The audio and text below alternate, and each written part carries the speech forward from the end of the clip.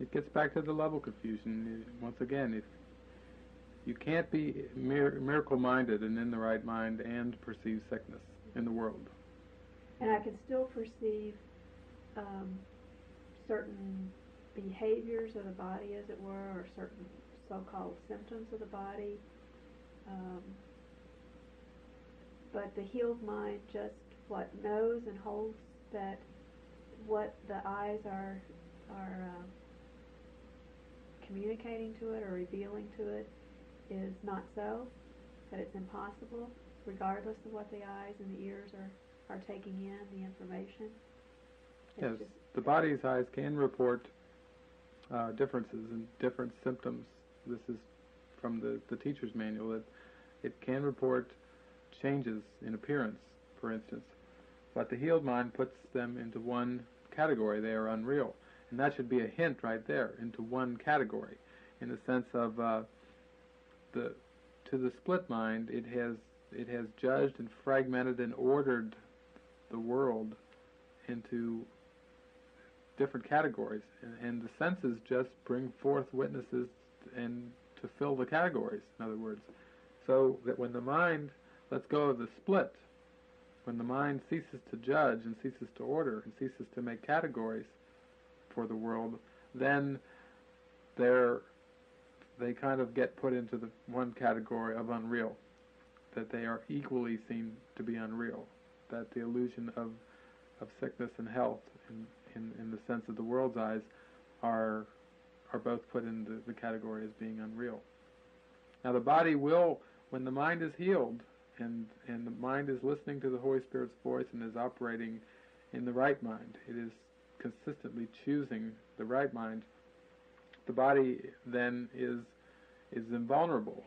The course tells us as long as it's be, is listening to the Holy Spirit and and um, following the voice for God for as long as it's needed, and then it's gently laid aside. It all starts with the perception. That this is a course in correcting perception, in in relinquishing judgment. So the miracle mindedness is seeing whatever the body's eye sees, but not interpreting them any certain way, not passing any judgment or on them or ranking them or giving them any reality, Yes. just acknowledging that they're unreal and impossible. Yes, and this we must also say that we are ste- still speaking in, in a metaphor, in a stepping stone, because we have already spoken of um, in Revelation and in the Holy Instant, the, there are no bodies. So in that sense, literally in Revelation, perception disappears. You get to, as Jesus says in the course, there is a glimpse of the end. You get to see the end, which is the, which is pure light. Um, the there are no bodies in that. Now, Revelation, as the course tells us, is not long maintained. If the state of Revelation was maintained, the body would not be maintained for very long, because of course there is no need. The mind is is in such a state of remembrance of the kingdom that there is no need for a body anymore. And literally, the body and the world disappear in uh, in that instant in the in the great rays in the light of, of that instant. They disappear into the nothingness from which they came. Yes, yes, So maybe this is a good time to talk about you know, true perception, the real world, all of that, which is like, as I see it, is just that last little step before it all disappears. yes. This is the, in a, in a sense, knowledge or love is beyond the curriculum of the course. The course is a course in removing the blocks to the awareness of love. So, true perception, the real world, are metaphors of, of a mind that has let go of, of judgment, that is, is a highly trained mind. So all those barriers have been removed in the state of true perception or real world. or the borderland. These these are all metaphors for um, a highly trained mind, where the mind has has has learned um, the holy relationship, for example, Um, it has unlearned the ways of the world, the laws of the world. It has learned it is not governed by by those laws. It's only the mind is only governed by the laws of God. And in a sense, it's a metaphor or stepping off point for the mind. That literally, once it reaches this stage, that it's come so close to love, it's as high as learning can go. But once again, knowledge is not uh, learned. Knowledge is.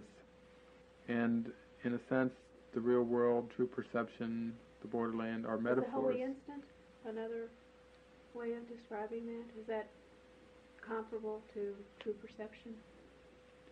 Um, the holy instant is described in, in many ways. Uh, for instance, you will still attempt to bring the past with you into the holy instant. It's still talked about in ways of um, that it's purely um, eternal. It's the gateway, kind of, so to speak, to the eternal. And while the mind still has attention on the world, still sees some value, some shred of value even, in the world as being real in any way, then it's still attempting to bring the past into the holy instant. Whereas when one truly um,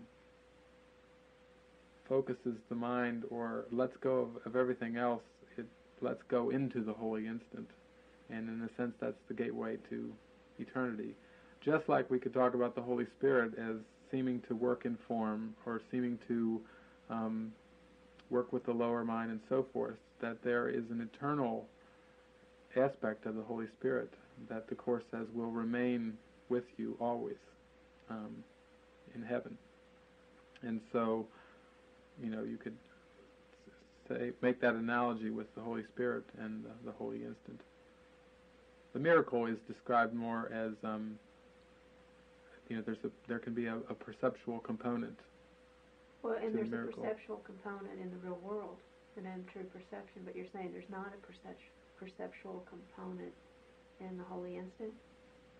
Yeah, when you go into the holy instant, uh, there there are no bodies in the holy instant. This can be, in, that's more analogous to revelation, to the great rays. And these are just terms. I mean, here we are. We're we're using terms again, and and the holy instant is an experience. A miracle is an experience. To be in the to be in the right minds and experience. That that these are just words that are that are tools for the mind to use to meet it where it believes it's at to as a springboard you know to this experience. These the holy instant cannot be prepared for. I mean that can be a, a mind-blowing concept. Just like why am i working with the course in miracles? Why am i putting all these hours into studying it and carrying these lessons through the day and and in, in one sense you know seeming to prepare my mind for it Mhm. when in other passages we read that uh, it can't be prepared for. Obviously, to prepare for something is to place it into the future, Mhm. and the holy instant is now. It is this instant, this the present. So there's the trap of becoming, the trap of, you know, preparing for, and all that. That has to be laid aside as well. And all that's required for the holy instant is that desire to experience it and the willingness to experience it. A very wholehearted desire, a desire for nothing else. Yes, very single-minded. I think there's a, some passages in the course that uh, can relate to what we're talking about, and it's a section I know you've been reading recently, the "I Need Do Nothing" section, and it's followed by the uh, the Little Garden section on page 362 and 364 in, in the old, the first edition text. But I'll, I'll read a few paragraphs here, and maybe we can use that, um, in a sense, once again, as a summary of, of some of the things we've been talking about, because it's very clearly laid out. I need do nothing. You still have too much faith in the body as a source of strength. What plans do you make that do not involve its comfort or protection or enjoyment in some way? This makes the body an end and not a means in your interpretation, and this always means you still find sin attractive. No one accepts atonement for himself who still accepts sin as his goal. You have thus not met your one responsibility. Atonement is not welcomed by those who prefer pain and destruction. There is one thing that you have never done. You have not utterly forgotten the body.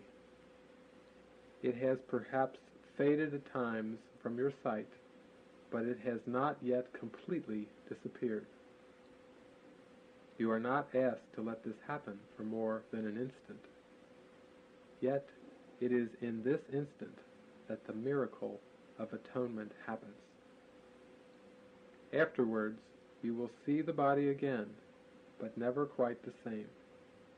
And every instant that you spend without awareness of it gives you a different view of it when you return. At no single instant does the body exist at all. It is always remembered or anticipated, but never experienced just now. Only its past and future make it seem real. Time controls it entirely, for sin is never wholly in the present. In any single instant, the attraction of guilt would be experienced as pain and nothing else, and would be avoided. It has no attraction now. Its whole attraction is imaginary, and therefore must be thought of in the past or in the future. It is impossible to accept the holy instant without reservation unless, just for an instant, you are willing to see no past or future. You cannot prepare for it without placing it in the future. That was your very point, wasn't Yes. it? This is the, the point, and Jesus is making it here in the Course, that if we place the uh, salvation or the holy instant, the atonement, in the future, it is still a concept. It is still feared. There is still a gap. Release is given you the instant you desire it. And that was your point. hmm That desire is the key thing. That that it, as I said, it needs to be wholly desired, wholeheartedly desired. Above all else. Yes, above all else. Many have spent a lifetime in preparation, and have indeed achieved their instance of success. So here we have, talk about preparation again, and it seems to, it's like, wait a minute, you just can't you can't prepare for it. And once again, he's speaking in the level of the world, speaking on the level of the course, where you know you have stages in the development of trust. This definitely seems to be preparation if the mind goes through stages.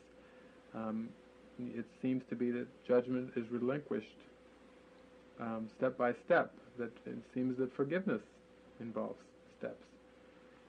That time involves intervals that in reality do not exist.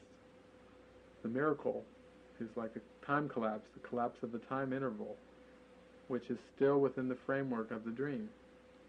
But in the ultimate sense of it, time itself, it was a, a gentle correction, a gentle plan of awakening to the to the belief in separation that that involves intervals that in reality do not exist.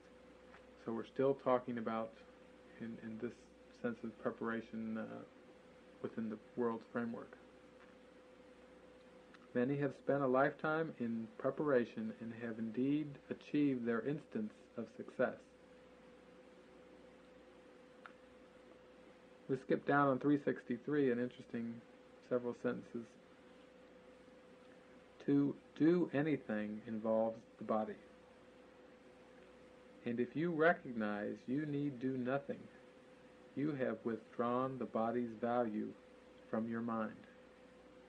Here is the quick and open door through which you slip past centuries of effort and escape from time. This is the way in which sin loses all